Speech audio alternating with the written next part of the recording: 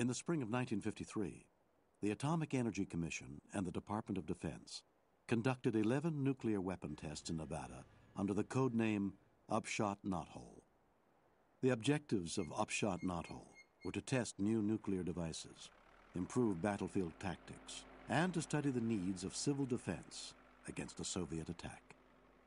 The first of the events, codenamed Encore, was a 27 kiloton nuclear device airdropped and detonated at about 2,800 feet above a large blast line. The second Department of Defense burst, called Grable, was detonated at the same general area, and it was delivered by the Army's new artillery cannon.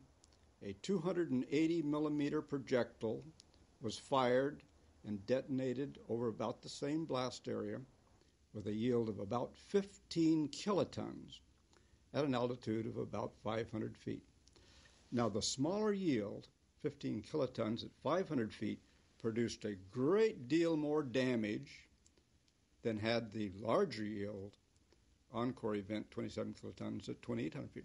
And that's because the smaller yield at the lower altitude produced a very abnormal waveform, which we call a precursor, which is very strong dynamic winds, which to drag sensitive targets produces extensive damage. For instance, a Jeep at a given level on Encore may not have been damaged at all.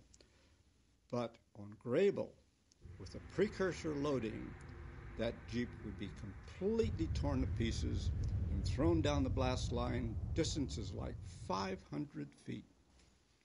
Well, there were many other peculiarities to those two shots, but it opened up a whole new vista of how do you use nuclear weapons in a combat situation.